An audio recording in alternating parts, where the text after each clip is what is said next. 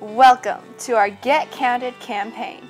Our goal is to make clinical testing readiness for the congenital muscle disease community easy to achieve and easy to understand. The keystone step towards this goal is getting registered at the Congenital Muscle Disease International Registry, or as you know it, as the CMDIR. If you or someone you care about has congenital muscular dystrophy, congenital myopathy, or congenital myasthenic syndrome, get registered today! Registries are an important way to count and identify people and families with a specific health condition. The CMDIR gathers current contact information and health information. The information is collected, stored, and shared with researchers in a way that ensures your privacy. Registries like the CMDIR are a key part of a structure that supports researchers, doctors, and pharmaceutical companies as they work towards future treatments. When describing what registries do, it is easy to get caught up in the technical jargon, fancy words, and future goals. But in reality, the reasons why registries are important, especially to rare disorders, are quite simple and quite practical. Imagine if there was a rare amphibian named the sapphire frog. Let's say the sapphire frog was only recently discovered and only a few individuals have ever been spotted. The first logical step when encountering this new species is to start documenting its characteristics.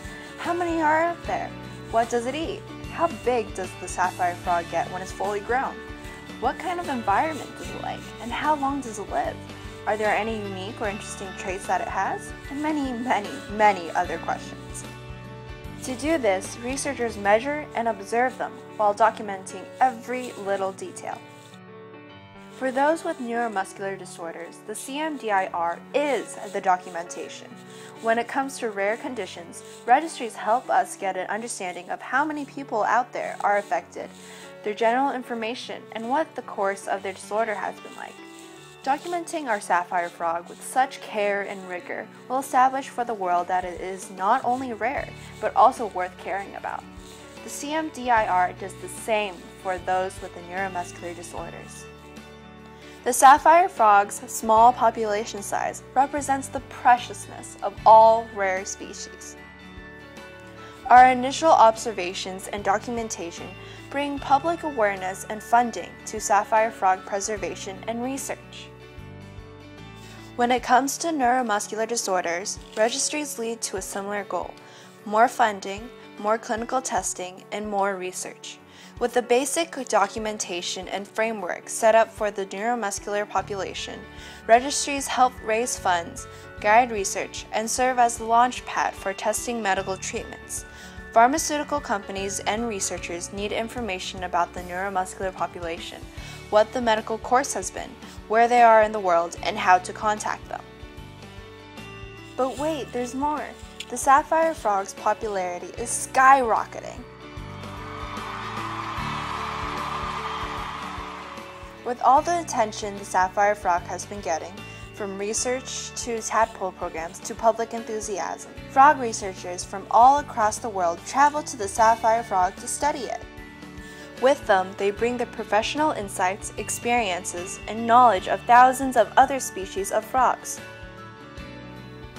Instead of hosting frog experts, the CMDIR is a place for neurologists, pulmonologists, researchers, genetic counselors, and neuromuscular experts to come and offer their knowledge.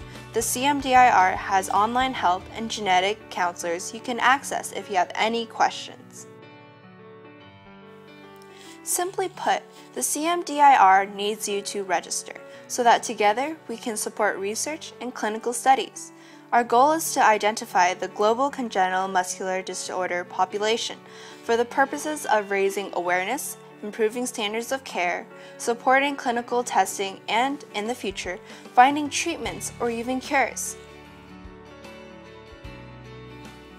Please visit www.cmdir.org to register. Email counselor at cmdir.org if you have any questions.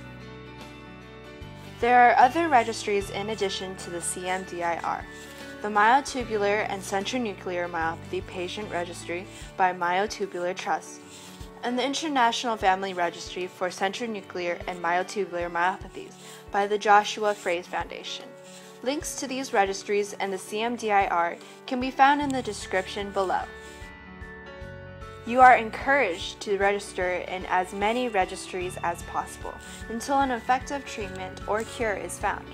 Doing so shows the world that we are passionate, empowered, and a force to be reckoned with.